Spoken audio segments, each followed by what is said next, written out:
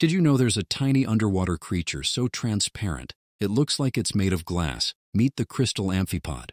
This creature can grow up to 15 centimeters, roughly the size of a human hand. Its body is almost completely transparent, earning it the name crystal amphipod. It lives in open waters from the surface down to 1,500 meters deep, one reason it can survive these crushing depths is that it lacks organs such as air-filled cavities, gas bladders, or rigid internal bones, features that would make it vulnerable to deep-sea pressure. This unique body structure lets it withstand the intense conditions where few others can. What makes it even more incredible is its body is coated with microscopic shaggy structures and a biofilm of tiny spherical bacteria which act like an anti-reflective coating to minimize light reflection, making it even harder to spot. Its massive orange orange-red eyes take up about a third of its body and contain 16 retinas in each eye, arranged cleverly to reduce its silhouette and sharpen its ability to detect prey in the dark depths. The crystal amphipod hunts gelatinous plankton like comb jellies using sharp pincers to tear off tissue.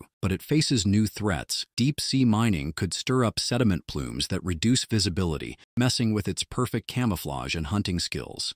In a place where light barely reaches, transparency becomes one of nature's most effective survival tools.